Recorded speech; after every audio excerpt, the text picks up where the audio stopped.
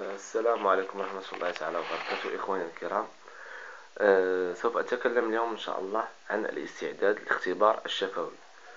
الاختبار الشفوي يبدأ الاستعداد لهذا الاختبار من المنزل من المنزل. خصني نستعد نفسانيا نستعد نكون مرتاح نعس بكري أه نوض صباح بكري الإنسان يتوكل على الله يصلي يدعي الله يوفقه. آه، يفطر واحد الفطور اللي هو فطور مزيان فطور عادي ما يحاولش يتناول شي حاجة اللي جديدة ولا فطور عادي ويمشي لمركز الامتحان.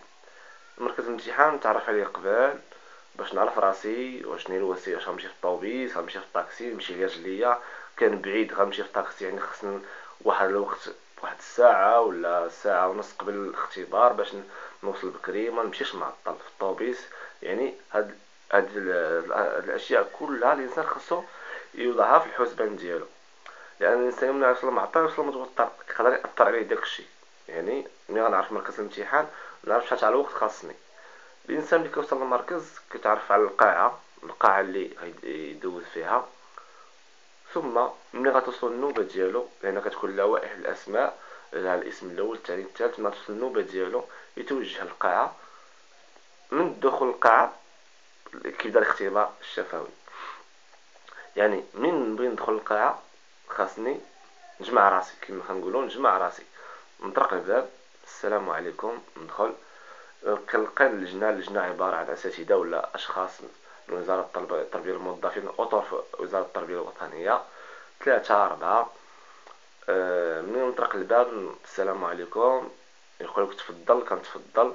كنلقى واحد الكرسي مثلا ما نلحقش نجلس حتى يطلبوا مني هما الجلوس ولا أنا نطلب منهم واش ممكن نجلس اياه نجلس. نقدر نقول لهم مثلا سنة سعيدة نقدر عواشر مبروكة. المهم الإنسان يكون يعني ماشي داخل الكوميسارية. الإنسان يكون آه، مبتسم يكون نشيط باش تبين أنت حتى واحد الصورة مزيانة ليك. آه، غالبا اللجنة أو غالبا في الاختبار الشفوي كيتعطى مثلا واحد النص نص باش تقرأ سواء بالعربية أو الفرنسية. إلا بغيت نقرأ هذا النص خاصني ناخذ بعين الاعتبار مجموعة من الأشياء. اولا الصوت مسموع. نقرأ بواحد الصوت اللي يكون هو صوت مسموع باش تسمعني اللجنة. لأن أنا إن شاء الله في المستقبل تكون واحد الأستاذ راه في قسم 38 37 تلميذ خاصك تسمع الصوت ديالك لجميع التلاميذ. صوت مسموع وما نسرعش في القراءة. ها؟ السرعة ممنوعة بتاتا. نقرأ بشوية عليا الصوت مسموع. احترام علامات الترقيم. احترام علامات الترقيم. إلا كان سؤال نطق السؤال بالطريقة ديال السؤال. إلا كانت علامة تعجب نبين التعجب في اللفظ ديالي. كانت النقطة الفاصلة نوقف واحد شوية. يعني هذا هو الهدف من القراءة. ماشي غير جاو الناس وعطاوك تقرأ النص. لا حنا عارفين كنتقرا ولكن واش كتحترم الطريقة الصحيحة لقراءة النص أم لا؟ من بعد القراءة الصحيحة تقدر يطلبوا منك الفكرة العامة لهذا النص سواء بالعربية أو الفرنسيه إلا كان بالفرنسية بعض المرات شرح لنا هذه الكلمة. إلا كان بالعربية بعض المرات عاوتاني أسئلة ديال الفهم ولا شرح تاع الكلمات ولا الضد تاع الكلمات على حسب. إلا تعطاني كتاب نقراه ما نحاولش نشد الكتاب نطويه أه؟ نطوي الكتاب لا. نخلي الكتاب مفتوح الصفحات ديالو مفتوح ونشدو ونقراه. إلا توجهت للصبوره نفس الشيء مبقاش هذا الكتاب مفتوح ما نتنيش ونقرأ ومرة مرة نهز عينيا نشوف الأساتذة كاملين. ديما اللجنة كنشوف فيها كاملة ما كنشوفش غير الشخص اللي سولني لا كل واحد كنعطيه حقه. نعم.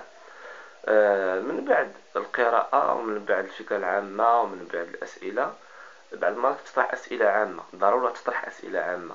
حولاش؟ حول مثل الجديد في علوم التربية الجديد في في التعليم المغربي. مثلا خصني نكون عارف الرؤية الاستراتيجية اش فيها الرؤية الاستراتيجية. غادي نخلي لكم إن شاء الله آه، من تقوموا بالتحميل لهذه الرؤية الاستراتيجية في أسفل الفيديو. الرابط ديال التحميل باش تعرفوا على هذه الرؤية الاستراتيجية. ضروري خصني نكون مطلع عليها باش نعرف الجديد. ومن بعد أه تكون أسئلة عامة. خصني الانسان يكون عارف مثلا شحال أكاديمية في المغرب؟ شكون هو وزير التربية الوطنية؟ أه النيابة اللي الأكاديمية اللي فيها أنايا سميتها. شكون النيابات اللي فيها؟ مثلا آه، مجالس المؤسسة. شكون هما مجالس المؤسسة؟ مجلس التدبير مجلس الأقسام. آه، جمعية الآباء مناش كتكون. يعني مجموعة من الأشياء خاص الإنسان المتعلم يكون عا هاد الإنسان المتبارك خاص يكون عارفها والمهم هادشي كامل هو الإنسان ما يتوترش. تقدر تعطاك شي حاجة تكتبها في السبورة شي شي جملة ولا شي حاجة خاصني نكتب أولا نكتبها في عقلي أولا عاد نكتبها في السبورة. تقدر تكون مثلا فيها الهمزة نعرف إمتى كتكتب الهمزة على السطر على الياء على الألف. تقدر تكون فيها مثلا تاء مربوطة تاء مبسوطة تقدر تكون فيها ال أه يعني الإنسان يرد البال مزيان. عاد يكتب الحاجة في السبورة. آه ثانيا آه يقدر تعطينا مثلا في النص الإعراب واحد الكلمة عربها. إلا بغيت نعرف هاد الكلمة نشوف واش قبل منها واش كاين شي ناسخ فعلي ناسخ حرفي. ياك ما هي مفعول مطلق مفعول به مفعول لأجله واش هي نعت. يعني ديما نربطها بالكلمات اللي قبل منها باش نعرف الإعراب تاع هاد الكلمة جيدا. ونتمنى التوفيق إن شاء الله للجميع وأي جديد إن شاء الله غادي نقولوه لكم. وإلا كان شي سؤال طرحوه عنا ونتعاونوا إن شاء الله ولا يوفق الجميع إن شاء الله. وشكرا لكم.